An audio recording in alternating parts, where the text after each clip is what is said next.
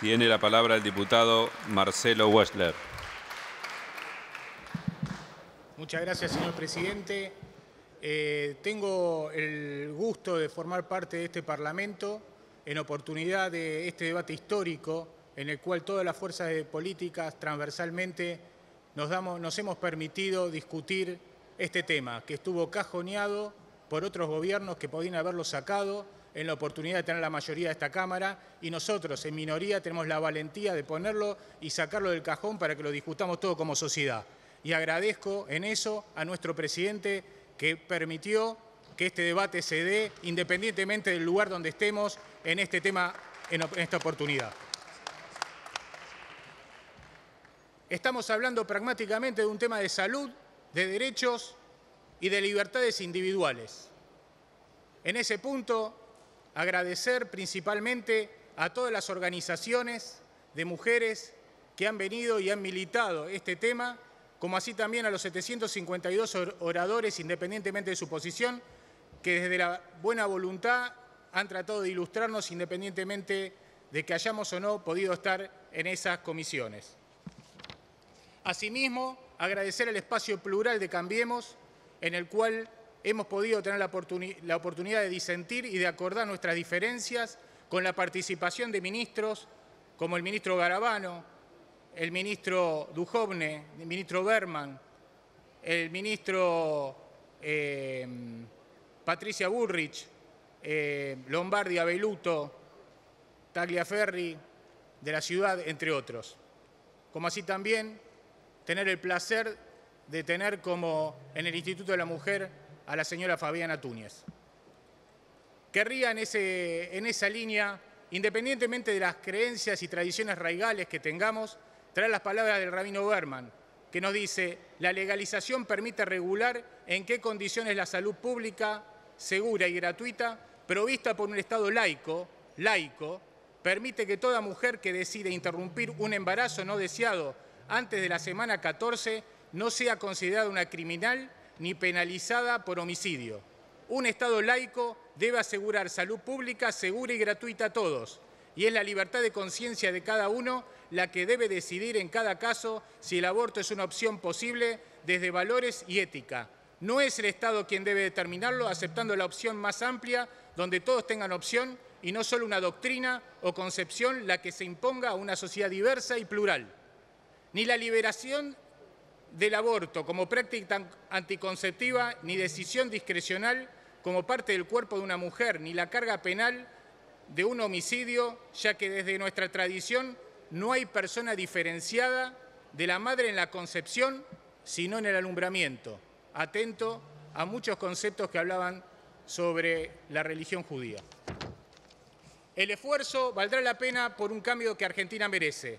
Es importante diferenciar las convicciones personales de todas, ya que todas son respetables de lo que debe ser una política pública en salud en un Estado laico. Políticas públicas de Estado en salud no pueden ser determinadas por doctrina, sino por la visión más amplia que asegura que hoy es un hecho que hay aborto, aún para quienes no lo tomamos como una opción ética, pero la discusión si, no es si hay o no aborto, sino de los que hay que sean legales y seguros, y no ilegales que traen la muerte de mujeres que mayoritariamente son pobres, ya que quienes tienen la opción de hacérselo en clínicas privadas y luego hasta lo confiesan, mientras las que son pobres ante la desesperación mueren por malas prácticas. Korenblit también, desde la ciencia, dio su opinión. Gil Lavedra y Gil Domínguez, desde lo jurídico, y no son giles, han dicho de que el aborto es viable. Rubinstein y González García y, Goyán también hablaron sobre esto. Por lo cual yo como hombre debería realmente llamarme a silencio y dejar que las mujeres decidan sobre su cuerpo. Es paradójico que los hombres una vez más estemos decidiendo como cuando tuvieron que votar las mujeres sí o no, con respecto a la primera ley de, de cupo de mujeres, sobre el divorcio vincular. ¿Quiénes somos nosotros para decidir sobre la soberanía de su cuerpo? Les pido por favor a las mujeres sororidad apoyen a sus pares y a los hombres.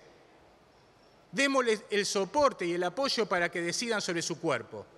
Asimismo, hablarle a mis compañeros que han acompañado a este país en la búsqueda de su ingreso a la OCDE, aquellos compañeros que han viajado conmigo y en otras oportunidades para que este país firme el acuerdo con la Unión Europea junto al Mercosur, a quienes, a quienes apoyan el G20 con nuestro presidente, con el G7, que no solamente hablemos de libertades económicas, sino también de libertades individuales. No tengamos doble estándar. Si queremos libertades económicas, miremos también las libertades y las políticas públicas sobre, las mujeres. En esos países hay aborto. No puede ser que digamos libertad sí para la economía, sobre las libertades individuales no.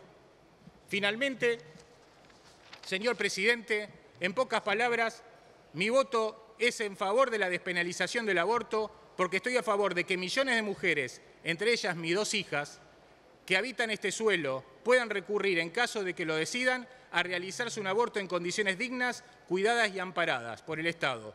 Y estoy a favor del aborto legal para que millones de hombres, entre ellos mis dos hijos, que viven en nuestra patria, no pasen también por las condiciones de humillación y dolor que sufrió el periodista de Clarín, Carlos Galván, quien con mucha valentía relató en, medio, en el medio el 11 de junio en una columna de opinión llamada Aborto. De haber sido legal, habría sido mucho menos humillante y doloroso. Por eso, señores, les pido que acompañemos este dictamen a favor del aborto legal. Y aquellos, para terminar, señor Diputado. presidente, aquellos que no están seguros de acompañar el dictamen de rechazo, porque hay algo que está claro, somos todos pro aborto, pro aborto legal o pro aborto clandestino, porque el dictamen de rechazo no habilita, sigue criminalizando el aborto, por lo cual hay una oportunidad, señores diputados. Si están de acuerdo con la despenalización y no le gusta cualquiera de los dos, voten a favor en general y voten en particular en contra, salvo los tres últimos artículos, y están votando la despenalización del aborto. Muchas gracias. Gracias, señor diputado.